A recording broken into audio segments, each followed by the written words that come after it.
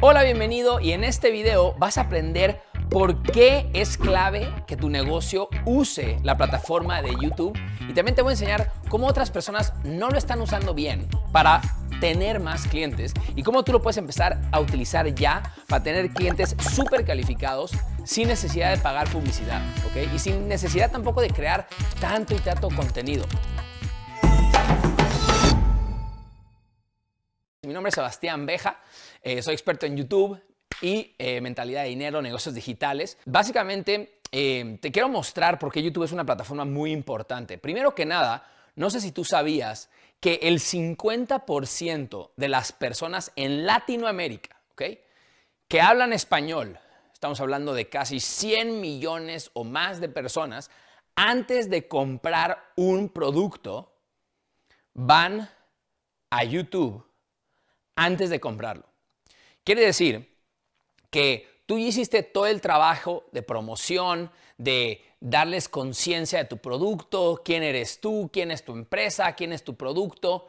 Eh, ya tal vez gastaste dinero en anuncios, tal vez hiciste eh, que Instagram, que ads, que eh, publicidad paga, lo que sea. Pero antes de comprar tu producto, lo más seguro es que tus clientes están yendo y están buscando algo como el nombre de tu producto y ponen reseña, opiniones, funciona, ¿no? Usan como nombre del producto más funciona, más opiniones. Entonces ahí es en algún sentido donde tal vez estás perdiendo clientes porque no tienes ese contenido.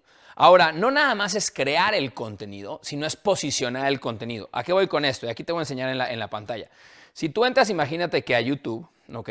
Y tú escribes, no sé, como gomitas para bajar de peso y puedes poner como opiniones. Te van a salir en algún sentido diferentes videos, ¿correcto? Entonces te van a salir aquí que el video 1, que el video 2, que el video 3, que el video 4.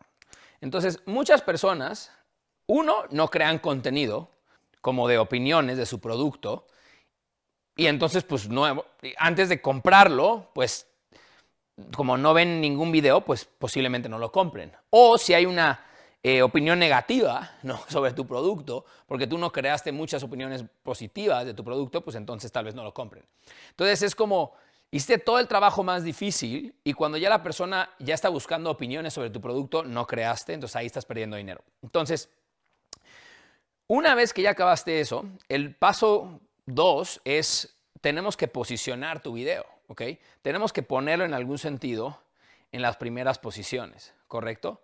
Y ahí es donde entra en algún sentido el SEO en YouTube. Y el SEO en YouTube es no solamente sobre crear y crear y crear contenido, al contrario, cuando yo eh, entro a equipos y empiezo a hacer consultorías de canales de YouTube o de negocios, me doy cuenta que tienen mucho contenido, tal vez, no sé, he tenido eh, canales que tienen 20, 30, 40, hasta 4.000 videos. ¿Y qué pasa? Tienen mucho contenido, pero su contenido no lo ven. Y hay un principio que, mucha gente dice que es como, no, es que el contenido es el rey. Haz más y más y más contenido y vas a ganar. Y creo que es cierto, ¿no? Es como pégala a la pared mil veces, ¿no? Y pues se va a romper la pared. Pero pues mejor es como mejor, ¿no? Agarra una hacha o un martillo y le das una vez y, lo rompes, ¿no? Entonces, no sobre el contenido es el rey, sino el contenido optimizado es el rey. El contenido optimizado es el rey. Entonces tienes que empezar a usar SEO, ¿ok? Para ser buscable, ¿no? Eso hay diferentes herramientas. Hay una herramienta que se llama VidIQ, ¿ok?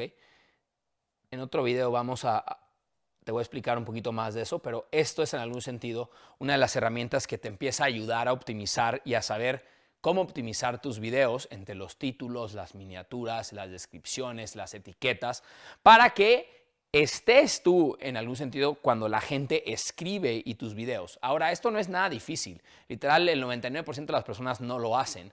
Además, tenemos estudiantes que literal optimizan su video, ponen una palabra clave en el título eh, y rankean su video y empiezan a hacer dinero, ¿no? Porque ven el video y de aquí del video básicamente los mandan a ya sea a WhatsApp o a su Facebook o los mandan, por ejemplo, a Telegram o los mandan a un embudo, ¿no?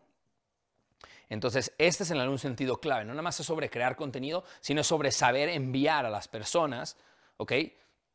Primero, saber cómo que te encuentren el contenido, porque pues de nada sirve tener contenido si no lo encuentran.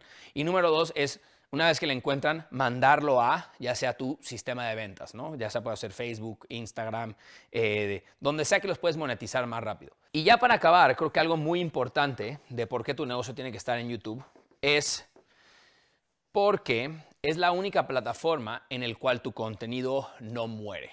Entonces, por ejemplo, en lo que es Facebook, Instagram, TikTok, Tu contenido dura, yo creo que máximo de 0 a 24 horas a tal vez máximo 7 días. ¿Qué quiere decir esto? Que imagínate que es esto así, va para abajo. ¿no? Estas son visualizaciones, ¿ok?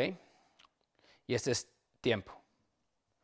Mientras más tiempo pasa, menos visualizaciones tienes, ¿ok?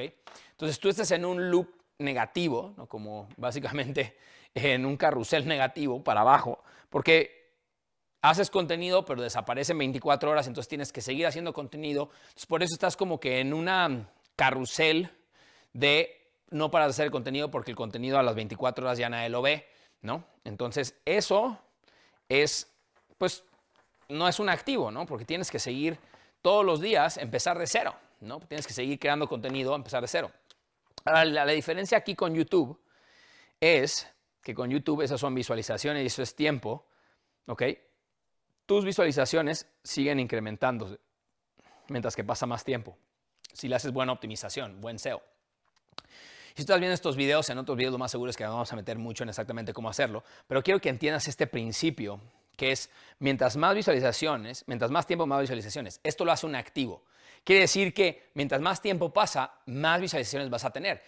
Quiere decir que si haces un pedazo de contenido, ese pedazo de contenido lo puedes apalancar durante el tiempo lo cual se vuelve un activo digital. Entonces, YouTube en realidad es lo más valioso porque es un activo digital, ¿ok? Y, por último, una visualización, una visualización en YouTube tiene que ser al menos 30 segundos. Quiere decir que para que una persona cuente en tu video como visualización, tiene que haberlo visto 30 segundos. A diferencia de, por ejemplo, un TikTok, que es punto un segundo, o un Facebook o un Instagram, que son tres segundos, ni siquiera te has dado cuenta. ¿Por qué es importante? Porque no todas las visualizaciones son iguales. Estas visualizaciones son consideradas mucho más valiosas porque tienes una persona literal viéndote 30 segundos, ¿no? 30 segundos. Este principio, ¿ok? Es lo que lo hace una plataforma evergreen una plataforma siempre verde. Quiere decir que es una plataforma que te va generando leads, registros, gente interesada conforme pasa el tiempo porque el contenido no muere. A diferencia de las otras plataformas que es Facebook, Instagram y TikTok. Entonces, imagínate como si fuera esto dinero, ¿no? ¿Tú qué quieres? Que tu dinero con el tiempo baje, o sea, imagínate que esto fuera dinero y esto fuera tiempo. ¿Quieres que que con el tiempo tu dinero vaya menos, menos, menos. O, imagínate que esto fue dinero, quieres que tu dinero vaya, vaya creciendo con el tiempo y se vaya como haciendo lo que se llama compound, como interés compuesto.